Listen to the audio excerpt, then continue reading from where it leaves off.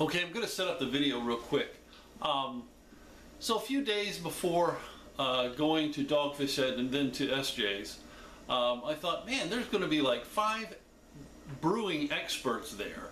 And uh, I could actually tap their knowledge on a variety of different beer subjects. And I thought, you know, my Sjporr entry, which was a milk stout for this year, um, it didn't turn out as, as good as I thought it would and didn't place as well as I thought it would. But um, so I thought, you know, I have all these guys up here who are experts. Why don't I just bring some of those beers up with me and see what the guys think? Get some of their advice, get some pointers on what I could do for next time. So, um, so uh, when the video opens up, I'm setting up for this. Uh, I'm giving uh, you know a little little tasters to everybody so they can help me out. And it was great. They did an awesome job. Thanks all you guys for your help with my uh, with my Sjporr entry uh, for this year, and maybe it'll help me for next year. Thanks a lot. Here's the video. Homebrew 62 here with my Sjporr offering. Uh, it was a milk stout and I've got the guys here uh, from the uh, Sjporr Convention uh, here in Pennsylvania, September 2004, Lermo 22. We got Pat's fan, we got Paul Wickstein here, and and main brew guy Gary, and Sjporr himself. No way. Yes. Put a bomb. Ah! That's no bomb when you're supposed to be in it. oh, I guess so. Yeah, right. Yeah, that's a tight. That's a tight. Now this beer, this beer, I'm gonna get some suggestions because I wasn't really, really happy with it. It has a good flavor, but I'm thinking the body might be uh, have to be increased. But uh, we'll see what the guys think. We'll pour a little. I've got, I've got a couple more over there too. So. Move it. Thank you very much. It's a milk stout. It's called Black Cow Milk Stout. Honest opinion, go ahead. It's okay. It's, it's a sweet stout, definitely.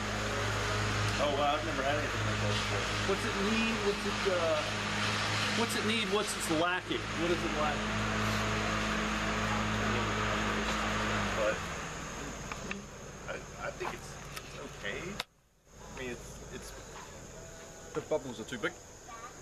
Too much. Uh, it's a little bit too too carbonated a little bit too bubbly. Really? Like okay. If the bubbles were really, really fine, right. a little bit more creamier because it's got that sort of creamy taste in it, but it doesn't, it disappears on tongue real fast. Right. And um, now that would be with the carbonation. Hmm. So, but we didn't have that in the competition. It was flat. It was actually you have, uh, you have lactose. yes, half a pound per five gallons. Right. So that's your sweetener in there. Yes. obviously. Yep. Yeah, that's what makes it sweet. So, did you add any oatmeal? No, there's no oatmeal in it. No. Maybe it'll help with the creaminess. Yeah, Might help. Can add a little bit of, uh, add a little more body. Yeah. Body on it's really nice. Or malt, uh, the uh, flake barley would work. I was, I was thinking flake barley, maybe some wheat in there. What do you Some, think? yeah, some torrefied wheat. Torrefied Yeah, wheat. It'll give that roasty, that roasty flavour. Right. Cool. It's not, all in all, it's not bad. Yeah. Good. Well, thank you. Drinkable. Thank you. Thank you. What do you use for yeast? I used SO5, US-05. Okay, yeah. All right. So it didn't actually.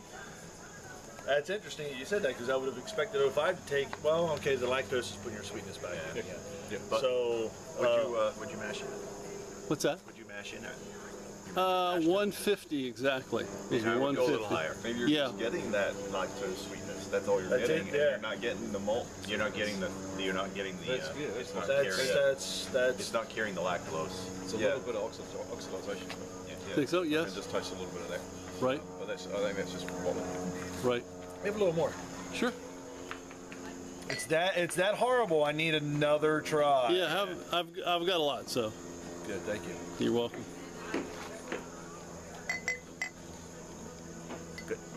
Good? So, yeah, yeah. it's Good. Look at that timers here. What, what's your timer doing?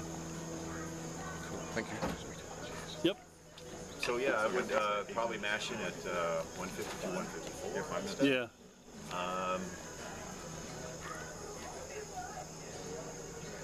oatmeal, something to carry that fl- creaminess more. Little flake barley. Yeah, something. What about the carbonation? What can what can I do to get the tighter bubbles? I, The bubbles are pretty small. But probably the body that you're going to add to it with the oatmeal Yeah. will help with the um, with the mouthfeel and the carbonation. It just feels like it just it dries off real fast. Yeah. And I think that's 150 is your mash temp. Is a lot Right. Yeah. Yeah, I'd probably do 65 as a mash. temp. in New Zealand. so what's that? 150 approximately. Yeah. Right. Sounds good. That's what he did. 150. I mean, you, you got Cool, yourself yeah. a real nice base to start with going for this. This is a really nice beer. This is like the third time I've brewed this, but I've tried different things. I went to uh, John Palmer's book. I think it's uh, I forgot which page it was, but he said he said add oatmeal, but he said cook it first. Use lots of water and cook it. And I did. Then I added it. The the last batch was it was just completely flat. I mean, it didn't it didn't make. So I think if I added oatmeal next time, I would probably not cook it. Yeah, yeah. I would, You know, I would, I've never heard of that, but I tried it and it just didn't work. You know, it's one of those things. But well, well, thank you guys for your help. Appreciate it. Did, did you get you got that out of a book, right? Not the internet. The uh, which which the uh, advice about the oatmeal? The oatmeal. Yes, how to brew. That is true. everything. Zombie apocalypse. it's on. It's on the internet.